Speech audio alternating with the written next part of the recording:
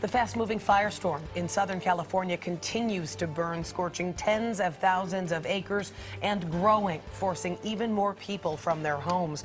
Good afternoon. I'm Anne Makovec. Michelle Griego is off today. And I'm Kenny Choi. Crews are battling three major fires in Ventura County, northwest of Los Angeles right now. The largest wildfire is the 50,000 acre Thomas Fire. More than 66,000 acres have burned since the fires began on Monday. At least 180 homes have been destroyed, and crews from the Bay Area are among the 1,100 firefighters right now on the front lines. 150 thousand people have been ordered to evacuate areas of Ventura and Los Angeles counties. Danielle Nottingham is live in Los Angeles with the very latest. Danielle?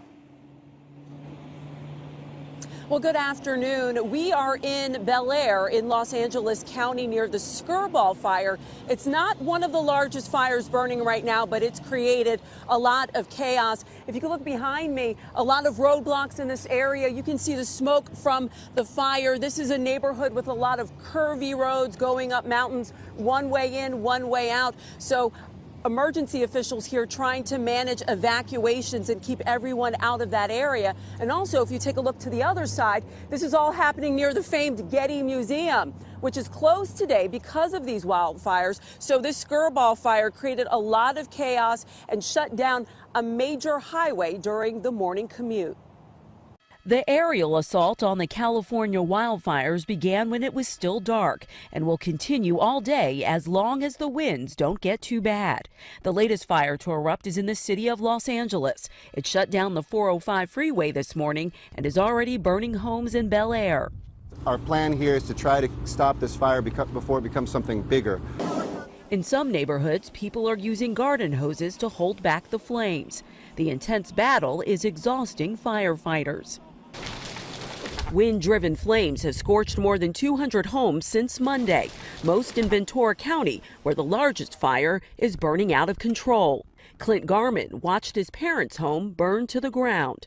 How, lo how long have you guys been living there? I've been there 20 plus years. My kids have all grown up, and the grandkids have all spent many years there.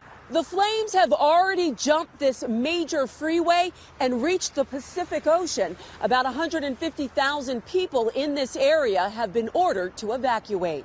Margot Edison left while she could, but not without her animals. The winds can change with, this, with the Santa Anas very quickly and come west to us because it's done that before and it moves so fast you barely have time to get out. Firefighters are still expecting high winds and low humidity. The crews are hoping to start making progress on the devastating wildfires.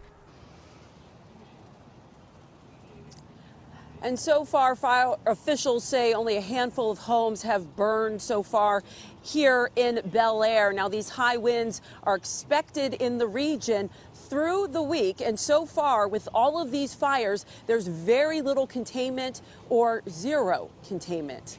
Live in Bel Air, Danielle Nottingham. Kenny, back to you. Danielle, we know that that, that Bel Air area home, like several multi-million dollar homes and a place uh, full for celebrities. What's the evacuation situation in that part of Los Angeles where you are in Bel Air?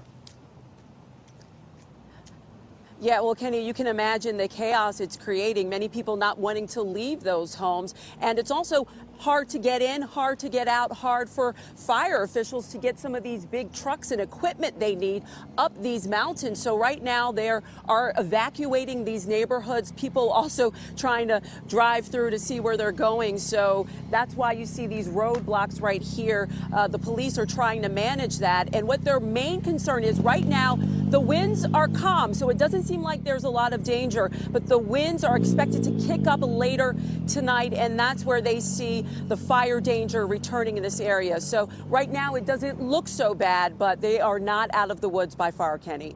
Danielle Nottingham with the very latest in Bel Air. Danielle, thank you.